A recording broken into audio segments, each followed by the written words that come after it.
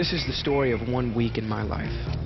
It was the week I fell in love, the week I would make my Broadway debut, What the hell is it now? and the week I would meet Orson Welles. John, this kid's gonna play Lucius. Will you work for nothing? Orson! Quiet, I'm negotiating. Orson's very competitive, very self-centered, This stage is where history is being written. very brilliant. Okay, listen, people. Nail your words to the back wall, and that goes for the rest of you. Consonants, consonants, consonants. And don't forget the vowels. Don't criticize him, ever. No, sir, there are more with him. Not more with him, mo with him. This is Shakespearean verse for speaking. I know my lines. And I say you need mo time.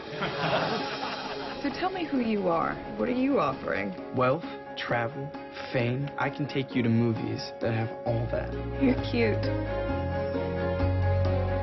The whole show is in shambles. He is an arrogant, I am selfish... Welles, and every single one of you stands here as an adjunct to my vision. You don't like the way I work here? There's the door.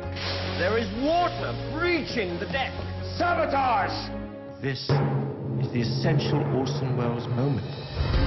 We might have a show that closes Thursday night. We might have a show that people will remember for 50 years. Orson wants to stay with me tonight. Want me to fight for you? Because I will. You've only known me for a week. You know, sometimes you remember a week for the rest of your life. Images of magnificence.